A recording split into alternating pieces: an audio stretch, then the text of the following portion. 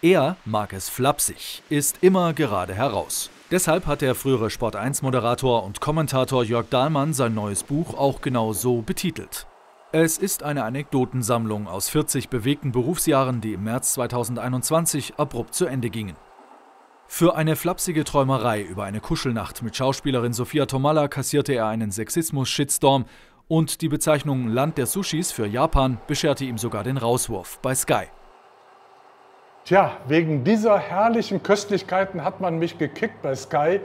Da sind sie zu schnell den Twitter-Hatern erlegen.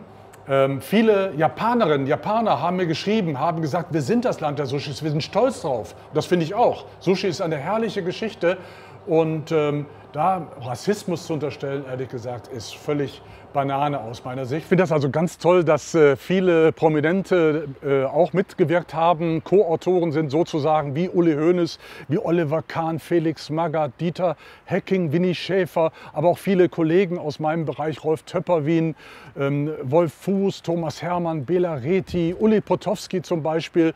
Äh, also sehr, sehr viele Menschen, die da mitgewirkt haben. Und Sophia Tomalla, ganz große Klasse, die hat äh, da etwas geschrieben, was ich sehr bemerkenswert finde. Sie hat ganz klar sich positioniert, hat gesagt, ich fand den Rauswurf äh, von dir lächerlich bei Sky und ich stehe zu dir. Ich habe mich kaputt gelacht über den Tomalla-Spruch, hat sie selbst gesagt. Und für sie war es sogar ein Kompliment. Sie kann das gar nicht verstehen, dass die Leute sich alle so aufregen. Ich werde immer wieder gefragt, was ich von Sky halte.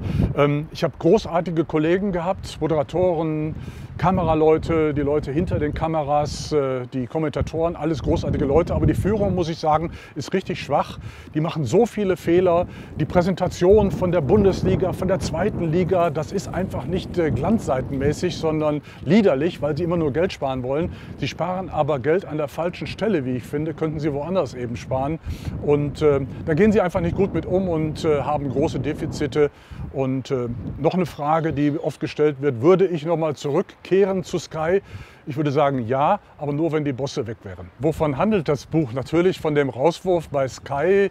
Blicke ich da hinter die Kulissen und erzähle alles, was da vorgefallen ist. War ziemlich erbärmlich vom Sender, wie ich finde. Naja, aber hauptsächlich erzähle ich natürlich über 40 Jahre Anekdoten, Anekdötchen, die ich so erlebt habe im Laufe der Reporterjahre.